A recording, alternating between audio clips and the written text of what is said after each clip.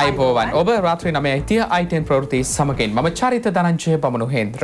මම තාරිකා මිහිරංගනය ප්‍රථමෙන් අවධානය ප්‍රධාන පුවත් සිරස්තල වෙත.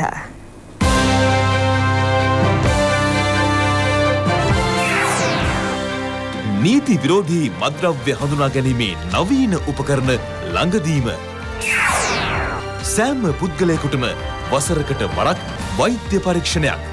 අනිවාර්ය කරනවා අවුරුද්ධකට සැරයක් හැමෝගෙම හෙල්ච එකක් එක කරන්න. ප්‍රදේශ කිහිපයක් හෙට උණුසුම් වෙයි. මතට එරෙහිව රටම දෙවරුන් දෙන බක් මහතිවරුම අප්‍රේල් තුංගනදා සිදු කරනවා. ඒ වෙනුවෙන් සංවිධාන කරන උත්සවයට සහභාගි වන ලෙස පාර්ලිමේන්තුව නියෝජනය කරන පක්ෂ නායකින් ඇතුළු දෙසිය විසි පස් දෙනාටම ජනාධිපති මෛත්‍රීපාල සිරිසෙන මැතිතුමා ආරාධනා කරනවා. ජනාධිපතිතුමා මෙ බව ප්‍රකාශ කළේ මාධ්‍ය ආයතන ප්‍රධානින් සමග ජනාධිපති මන්දරය පැවති හමුවකතේ.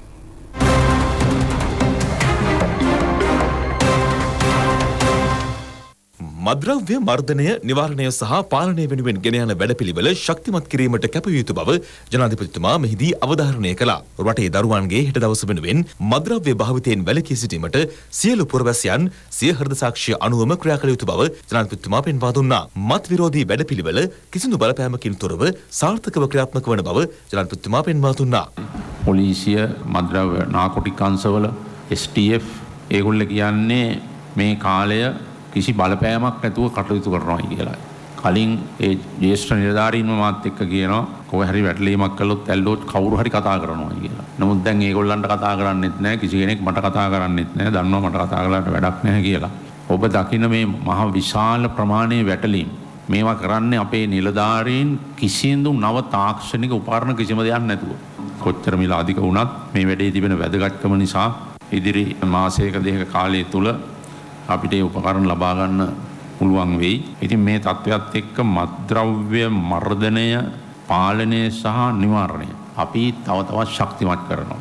රටේ දරුවන්ගේ හෙට දවස වෙනුවෙන් කියලා මුළු රටම දිවුරුම් දෙනවා අප්‍රියල් 3 උදේ බක්මහ දිවුරුම කියලා. මත්ද්‍රව්‍ය වලට විරුද්ධව සියලුම පාසල් දරුවෝ සියලුම රජයේ කාර්යාලවල පාර්ලිමේන්තුවේ 225ටම සියලු පක්ෂ නායකයින්ට මම ආරාධනා කරනවා පොඩි උත්සවයක් අපි තියන්නේ නිදහස් චතුරස්‍රයේ ටොරින්ටන් වල අප්‍රියල් 3 උදේ 8ට මෙතෙක් අත්අඩංගුවටගත් නීති විරෝධී මද්‍රව්‍ය විනාශ කිරීම කටුනායකදී අප්‍රේල් 5 වනදා සිදු කරනවා. මද්‍රව්‍ය ජාවාරම්කරුවන්ට මරණ දඬුවම ලබා දීමේ තීන්දුව ඉදිරියේදී ක්‍රියාත්මක කරන බව ජනාධිපතිතුමා මෙහිදී අවධාරණය කළා. පොලිසිය ප්‍රතිසංවිධානය කළ යුතු බවද ජනාධිපතිතුමා වැඩිදුරටත් කියා සිටියා. පෙරේදා අපි තීරණයක් ගත්තා පොලිසිය ඔක්කොම ජ්‍යෙෂ්ඨ නිලධාරීන් ගෙනල්ලා සේවය අතහැර ගොස් සිටින සියලු දෙනාම සේවයට කැඳවන්න ඒගොල්ලන්ගේ පුද්ගලික ලිපිගුණය විනය ප්‍රශ්නයක් නැත්නම් සේවය අතහැර යන්නේ ඒ තිබෙන යම් යම් මානසික පීඩාවන් නිසා පොලිසියේ යුනිෆෝම් එකෙන් එළිය පේන තත්ත්වෙ නෙවෙයි අභ්‍යන්තර හරිම අනුවේදනීයයි. ඒක නිසා පොලිසිය සම්පූර්ණ ප්‍රතිසංවිධානයක් කළ යුතුයි. ඒ ප්‍රතිසංවිධානයක් නම් පොලිසියෙන් කරන දේ කෙරෙන්නේ නැහැ. දැන් පොලිසිය උසස් සීන් ගන්න ඔක්කොම අධිකරණයට ගිහිල්ලා නඩු කියලා. දැන් පොලිස් කොමිසම මේ අවුරුදු කීපේ හරියට ඒ වැඩ ටික කෙරුණා නම් ඒගොල්ලන්ගේ වගකීම හරියට තේරුම් අරගෙන මෙච්චර පොලිසි නිලධාරීන් උසාවි යන්නේ නැහැ උසස් සීම් වලට. පොලිස් කොමිෂන් සභාව මේ වගකීම ගන්න ඕන මේ නිලධාරීන් ඇයි උසාවි යන්නේ? උසස් සීම් වලට. ඒක පොලිස් කොමිසමේ ජොබ් එක ඒක. පොලිසිය පිළිබඳව තිබෙන විවේචන වගේම අභ්‍යන්තර තත්ත්වය සොයලා බලන්න ඕන. ඇයි මේ තත්ත්වයට මේ විදිහේ සිද්ධ වුණේ කියලා.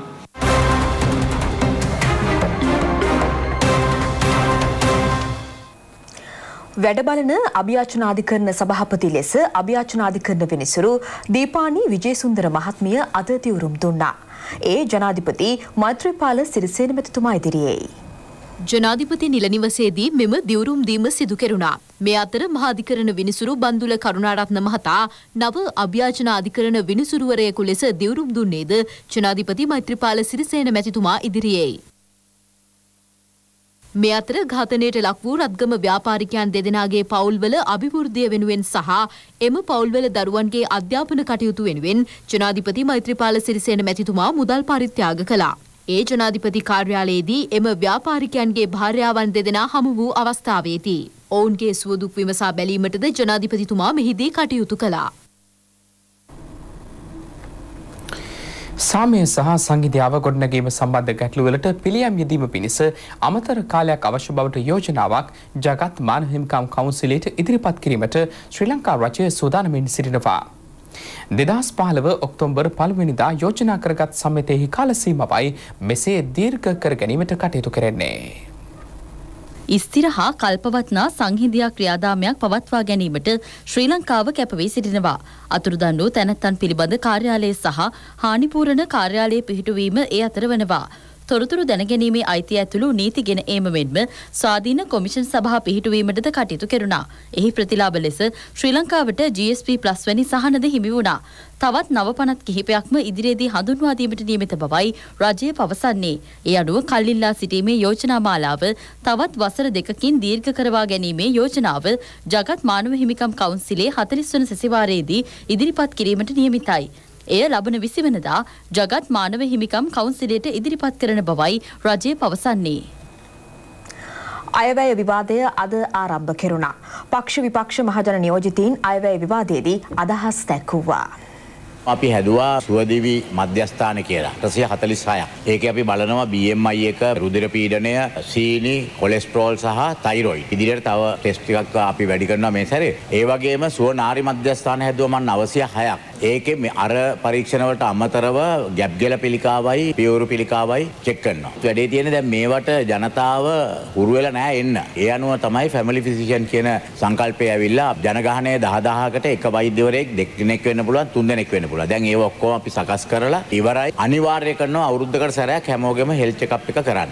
බංගලි දේශේ භූතාන ඉන්දියාවේ මාලදිවෙනේ නේපාලේ පාකිස්තානේ ශ්‍රී ලංකා. මේ කලාපේ තියෙන ඔක්කොම රටවල් අරගෙන බැලුවම අපිට වැඩිය අද ඒ රටවල් ඉස්සරහට ගිහිල්ලා තියෙනවා. යහපාලන ජයග්‍රහණය ගැන අදටත් වඩා මං හිතන්නේ ගොඩක් අය කතා කරાવી අනාගතයේදී. මේ යොදපු අඩිතාලම වැදගත් වෙනවා අනාගත පරම්පරාවන් වලට. අපිට රටක් වශයෙන් දියුණු වෙන්න මේ අඩිතාලම වැදගත් වෙනවා. මේ රට පසුගිය නිදහසෙන් පස්සේ ඇතැම් ශේෂත්‍රවල විශාල ජයග්‍රහණයන් ලබාගෙන තියෙන බවත් අපි කියන්න. එක ශේෂත්‍රයක් තමයි අපේ සෞඛ්‍ය ශේෂත්‍රය අපට ප්‍රශ්නයක් අපේ ජනගහන ඇති වෙලා තියෙනවා අධ්‍යාපනය අනිකුත් ශේෂ්ත්‍රෝල අපි ලබාගෙන දෙන ජයග්‍රහණ බැලුවත් කොච්චර විවේචන ඉදිරිපත් කළත් මේ රට අද පළවෙනි ලෝකයේ මට්ටමට ඇවිල්ලා තිබෙනවා. මේ අයවැලේකන ඉදිරිපත් කරේ චන්දට තමුන්නාසල මේක පෙන්න්න ජූනි බාසැන් ඉස්සල්ල ගෙවන එකව දීන බනාවක් හැබැයි අයකරීම් තමුන්නාසල කරනවා හෙට ඉඳලම්. වසර විස්සක් ආණ්ඩු කරපු අය අවුරුදු හතරක් ආණ්ඩු කරපුයට ඇඟිල්ල දික් කරනවා. කොටම් පුච්චල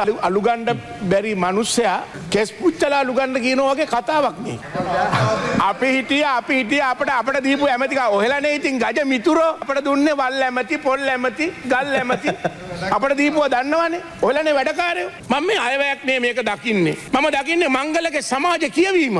අද මේ රටේ තිබෙන ප්‍රධාන පක්ෂ තුනම කුමන සලුපිලි ඇඳගෙන හිටියත් ඔවුන් තනපති ආර්ථික ක්‍රමය තමයි පිළිගන්න. මේ අයවැයෙන් මම පළවෙනිවරට දකිනවා ඒ දිශානතිය යම් වෙනසක් සමාජ සාධාරණත්වය දෙසට යම් හැරීමක් අපි දකින. ඒ ස්තිර හැරීමක් බවට පත් කළ යුතුයි. රාජපක්ෂ මහත්තය මේ රටේ ජනාධිපතිවරය වෙලා අවුරුදු එකොළහක් ඉන්නවා. මේ අවුරුදු එකොළහටම රුපියල් හත්සිය පනහයි මේ රටේ වැටු පැරිකරේ රාජ්‍ය සේවකයට අපි ඇවෙල තාම අවුරුදු හතරයි.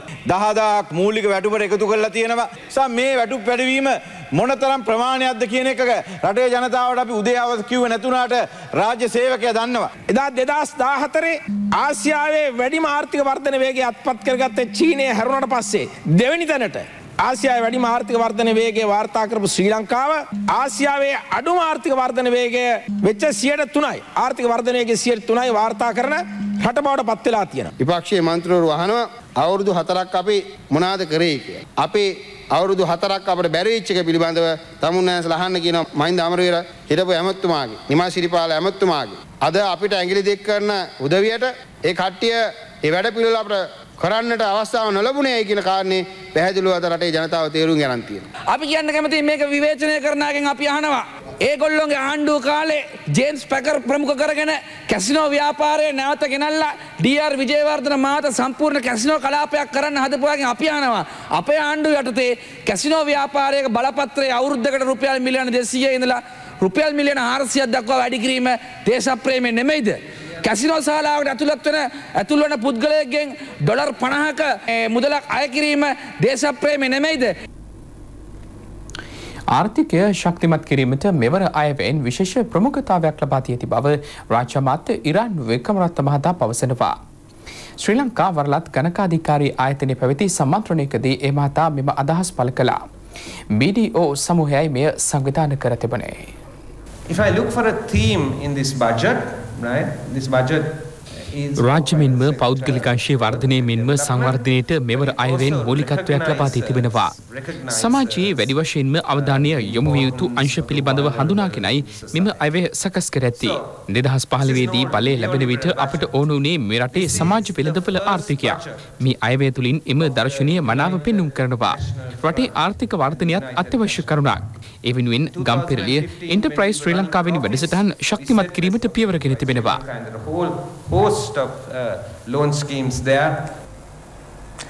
කුමන අභියෝග පැමිණියද විදුලි පාරිභෝගිකයින්ට සහන සලසන බව අමාත්‍ය රවී කරුණානායක මහතා පවසනවා.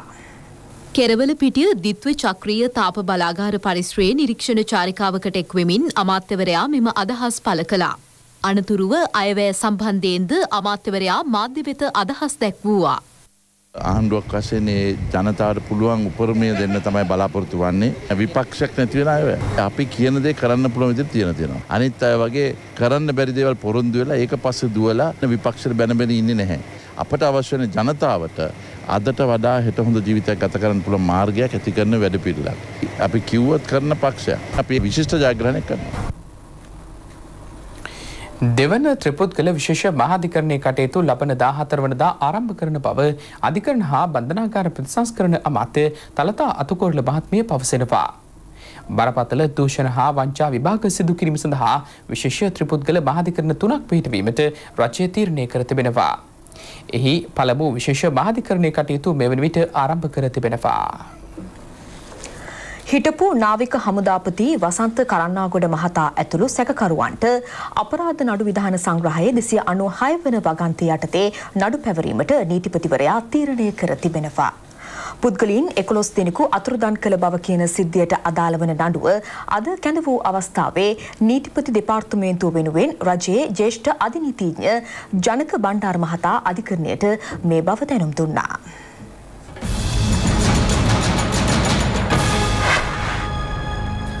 ඇපමත සිටිලු දෙනන් කමාන්ඩ සම්පත් මුණසිංහ අත්අඩංගුවට ගැනීම සහ රක්ෂිත බන්ධනාගාරගත කිරීම නීත්‍ය අනුකූල බවද නීතිපති දෙපාර්තමේන්තුව අධිකරණය හමුවේ කියා සිටියා. සැකකරුවන් ලබන 19 වනදා දක්වා රක්ෂිත බන්ධනාගාරගත කරනු ලෙස අධිකරණය දැනුම් දුන්නා.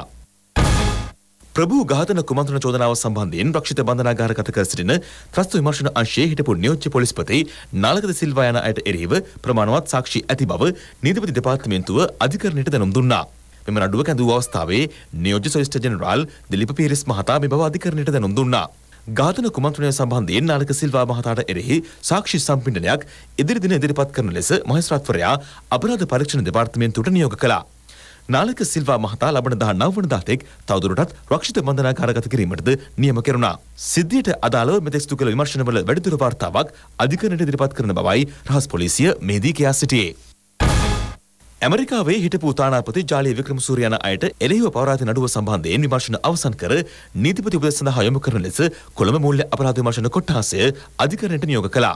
රජයේ මුදල් ඇමරිකා ඩොල තුන් ලක්ෂ තිස් දෙදහසක මුදලක් සාපරාධී සාවද්‍ය පරිහරණය කළ බවටයි ඔහුට චෝදනා එල්ල වී තිබෙන්නේ. ඇපමත සිටින ජාලි වික්‍රමසූරිය මහතා විදේශගත වන අවස්ථාවේ අප තැබූ ඔහුගේ බිරිඳ සහ සහෝදරිය අත්අඩංගුවට ගැනීමට කොටුව මහේස්ත්‍රාත් අධිකරණය විවෘත වරෙන්තු නිකුත් කර තිබෙනවා. වෛද්‍ය ප්‍රතිකාර ලබා ගැනීම සඳහා අධිකරණයේ අවසර ලබාගෙන මාස දෙකක කාලයක් විදේශගත වූ සැකකරු නියමිත දිනේ අධිකරණයේ පිණි නොසිටීම හේතුවෙන් වරෙන්තු නිකුත් කර තිබෙනවා. ශ්‍රී ලංකාවේ වෛද්‍ය සභාවේ සමාජිකයන්ට එරෙහිව ගොනු කර ඇති නඩුව අප්‍රේල් 3 වනදා විභාගයට ගැනීමට අභියාචන අධිකරණය නියෝග කළා. සයිටම් ආයතනයේ වෛද්‍ය උපාධිය සම්පූර්ණ කරන සිසුන්ට ශ්‍රී ලංකා වෛද්‍ය සභාවේ ලියාපදිංචි වීමට අභියාචන අධිකරණය ලබා දී ඇති තීන්දුව මෙතෙක් ක්‍රියාත්මක නොකළ බව පවසමිනුයි මේ ගොනු කර තිබෙන්නේ. මෙම නඩුව අද කැඳවූ අවස්ථාවේ ශ්‍රී ලංකා වෛද්‍ය සභාවේ සභාපති ඇතුළු සමාජිකයන් අභියාචන අධිකරණයේ පෙනී සිටියා. විපක්ෂ නායක මහින්ද රාජපක්ෂ මහතා හා ජනතා විමුක්ති පෙරමුණ අතර සාකච්ඡාවක් අද පැවැත්වුණා. ඒ විපක්ෂ නායක කාර්යාලයේදී. පාර්ලිමේන්තු මන්ත්‍රීවරුන් වන දිනේශ් ගුණවර්ධන ඩලස් අලහප්පෙරුම හා ජනතා විමුක්ති පෙරමුණ නියෝජනය කරමින් එහි නායක අනුරකුමාර දිසානායක පාර්ලිමේන්තු මන්ත්‍රීවරුන් වන විජිත හේරත් සුනිල් හඳුන්නෙත් යන මහත්වරුන් එම සාකච්ඡාවට සහභාගි වුණා. විසිවන ව්‍යවස්ථා සංශෝධනය සම්බන්ධයෙන් මෙහිදී සාකච්ඡා කෙරුණු බවයි වාර්තා වුණේ. රත්මලාන කල්දමුල්ල ප්‍රදේශයේදී හෙරොයින් ග්‍රෑම් අනු අටක් සමග සැකකරුවන් දෙදෙනෙකු අත්අඩංගුවට ගෙන තිබෙනවා. මෙම හෙරොයින් ත්‍රිරෝධ රථයකින් ප්‍රවාහනය කරමින් සිටියදී අත්අඩංගුවට ගත්තේ පොලිස් විශේෂකාර්ය බලකායයි. අදාළ සැකකරුවන්ගෙන් එක් අයෙකු වයස අවුරුදු 33ක් වන රත්මලාන ප්‍රදේශයේ පදිංචිකරුවෙකු වන අතර අනෙක් සැකකරු වයස අවුරුදු 26ක් වන ඇල්පිටිය ප්‍රදේශයේ පදිංචිකරුවෙක්. සිද්ධිය සම්බන්ධයෙන් ගල්කිස්ස පොලිසිය වැඩිදුර පරීක්ෂණ පවත්වනවා. මේ අතර මහනුවර ගැටබේ ප්‍රදේශයේදී හෙරොයින් ග්‍රෑම් 51යි මිලිග්‍රෑම් 570ක් සමග සැකකරුවෙකු අත්අඩංගුවට ගැනුණා. මහනුවර දිසා දූෂණ මර්ධනාංශයට ලැබුණු තොරතුරක් මත සිදු කෙරුණු වැටලීමකදී ඔහු අත්අඩංගුවට ගැනුණේ. සැකකරු මාවනැල්ල ප්‍රදේශයේ පදිංචිකරුවෙකු වන අතර ඔහුගේ වයස අවුරුදු 26ක් වනවා. දිනෙන් දින විනාශ වෙමින් පවතින පොල්ගොඩ පාරිසරික ආරක්ෂණ ප්‍රදේශය සුරකීම සඳහා විධිමත් වැඩපිළිවෙලක් ක්‍රියාත්මක වනවා. මෙම පාරිසරික කලාපයට සිදුවන හානිය නිරන්තරයෙන් අධීක්ෂණය කර අවශ්‍ය නීතිමය පියවර ගැනීම ඒ අතර ප්‍රධානයි.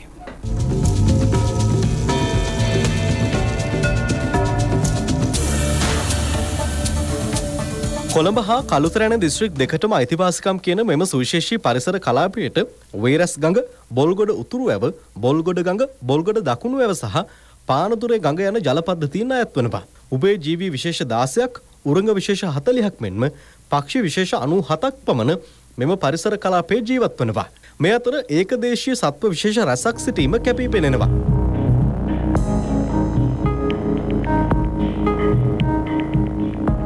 වර්තමානය වන විට බොල්ගොඩ පාරිසරික ආරක්ෂණ ප්‍රදේශය දැඩි අවධානමකටයි ලක්ව තිබෙන්නේ. ඒට සිදුව ඇති හානිය මධ්‍යම පරිසර අධිකාරී අධ්‍යක්ෂ ජනරාල්වරයා ඇතුළු නිලධහරින් නිරීක්ෂණය කළා. ඒ අනුව ගඟ දෙපස පස්තමා ගොඩ කර තිබූ අයුරු මෙන්ම වටිනා කඩලාන ශාක කපා ගල්බැමි ඉදිකර ඇති අයුරු දක්නට ලැබුණා. ලී මෝල් වලින් ඉවතලන ලීකුඩු ගඟට දමා පරිසර පද්ධතිය විනාශ කර තිබෙනවා. අතහැර දැමූ ඉස්සන් කොටු මෙතෙක් ගලවා ඉවත් කර නැහැ. කරදියාන කසලංගනයේ අපද්‍රව්‍ය මෙහි ජලයට මුසු වී ඇති අයුරද මෙම නිරීක්ෂණ චාරිකාවේදී දැකගත හැකි වුණා. ඒ අනුව ආරක්ෂක අංශවලද සහය ඇතිව ඉදිරියේදී පුළුල් වැඩපිළිවෙලක් ක්‍රියාත්මක කිරීමටයි මධ්‍යම පරිසර අධිකාරිය ක්‍රියා කර ඇත්තේ. ඒ සඳහා ඩ්‍රෝන කැමරා ආදිය යොදා ගැනීමටද නියමිතයි.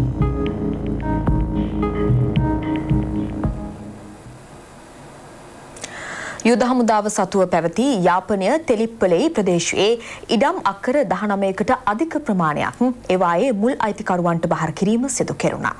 ඒ ආරක්ෂක සේනා ආඥාපති දර්ශන හෙට්ටියාරච්චි මහතාගේ ප්‍රධානත්වයෙන්. තෙලිප්පලේ ප්‍රාදේශීය ලේකම් කොට්ටාසේ උත්සවය පැවැත්වුණා.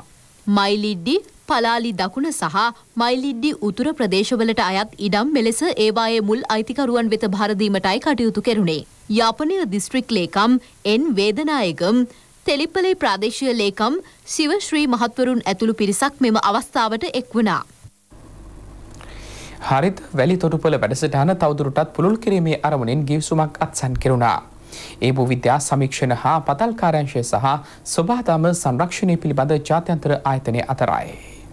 ස්වබාදහම සංරක්ෂණය පිළිබඳ ජාත්‍යන්තර ආයතනය හෙවත් IUCN පරිශ්‍රයේදී ඊට අත්සන් තැබුණේ භූවිද්‍යා සමීක්ෂණ හා පතල්කාරංශී සභාපති අසේල ඉද්දවල සහ IUCN ආයතනයේ ශ්‍රී ලංකා නියෝජිත ආනන්ද මල්ලවතන්ත්‍රයන මහතුරුන් මෙම ගිවිසුමට අත්සන් තැබුවා. හරිත වැලිතොටුපළ සංකල්පය ජාත්‍යන්තර මට්ටමේ පාරිසරික නිරීක්ෂණයන්ට අනුකූලව තවදුරටත් පුළුල්ව පවත්වාගෙන යාමට මෙමගින් හැකියාව ලැබෙනවා. බංග්ලාදේශ නාවික හමුදාවට අයත් දලේශ්වරී නෞකාව දිවයිනින් පිටත්ව ගියා.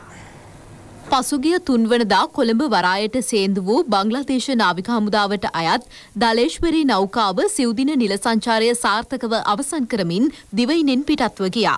ශ්‍රී ලංකා නාවික හමුදාව තම සම්ප්‍රදායන්ට අනුව එම නෞකාවට සමුදීම සිදු කළා. ධලේශ්වරී නෞකාව මෙරට රැඳී සිටි කාලය තුළ එහි කාර්ය මණ්ඩලය ශ්‍රී ලංකාවේ වැදගත් ස්ථාන රැසක සංචාරය සඳහා සහභාගි වුණා. ශ්‍රී ලංකා නාවික හමුදාව සංවිධාන කළ වැඩසටහන් කිහිපයකටද ඔවුන් සහභාගි වුණා.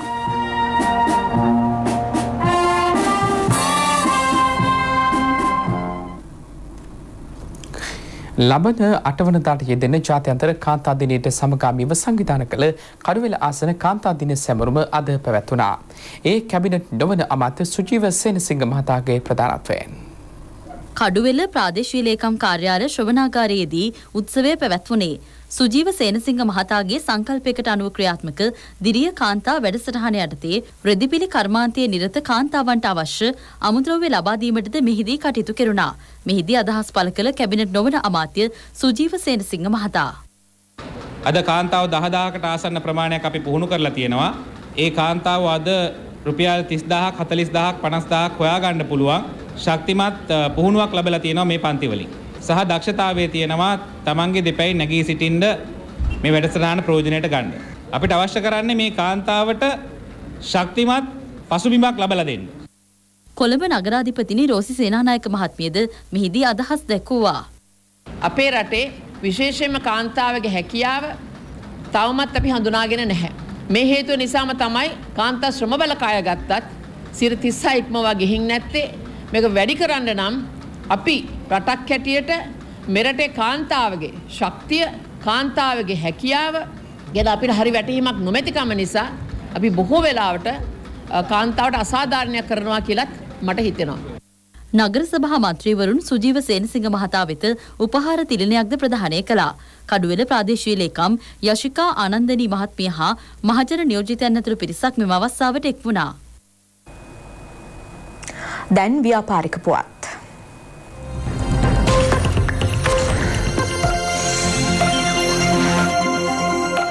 කළම්පු ෆැෂන් ෂෝ විලාසිතා දැක්ම දාසය වන වරටත් ශැංග්‍රිලා හෝටලේදී පැවැත්වනා.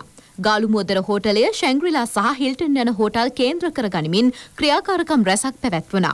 නිර්මාණකරුවන්ගේ වෙළඳපළ නිර්මාණය විලසිතා නිර්මාණ ප්‍රදර්ශනය හා නිර්මාණකරුවන් නගා සිටුවීම අරමුණයි. HSBC දොළස් වන වරටත් මේ සඳහා අනුග්‍රහකත්වය දැක්වූවා. ට්‍රෙසම් හයාකයා ශැම්පු නිෂ්පාදනය හඳුන්වාදීමද සිදු කෙරුණා. රොප්ලීන් පුද්ගලික සමාගම විසින් ස්වභාවික ජොජෝබා ආලේපනය හඳුන්වාදීම රූපලාවන්‍ය ශේෂත්‍රයේ ප්‍රවීණයන් රැසකගේ ප්‍රධානත්වයෙන් සිදු කෙරුණා. විශේෂඥ වෛද්‍ය අමිල සිරිවර්ධන ජොජෝබා පිළිබඳ හැඳින්වීමක් සිදු කළා. විශේෂ දේශනය සිදු කළේ ප්‍රවීණ රූපලාවන්‍ය ශිල්පිනී චමරිකාල්දේ රාමහත්මියයි. ශිරන්ති රාජපක්ෂ මහත්මිය ඇතුළු ආරාධිතයන් රැසක්ද එම අවස්ථාවට එක් වුණා.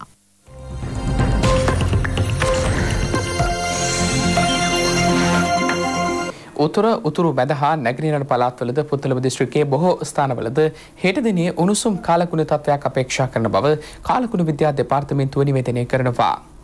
වැඩිදුර කාලකුණ තොරතුරු ගෙනෙන්නේ තාරකා විජයවංශ.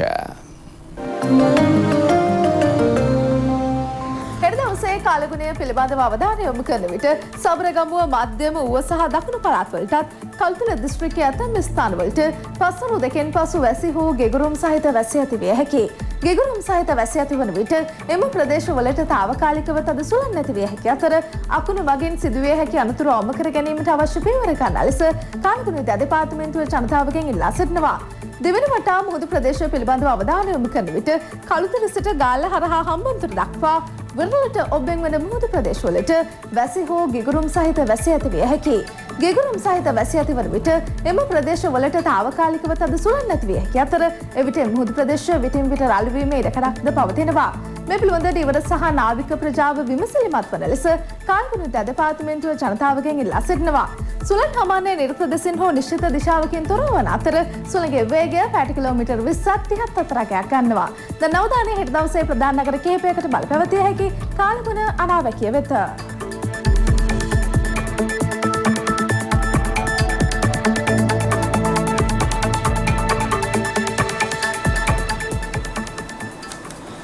අයිටන් ප්‍රවෘති තුළින් අදට අපි සමුගන්නවා. ඔබට සුභරාත්‍රයක්.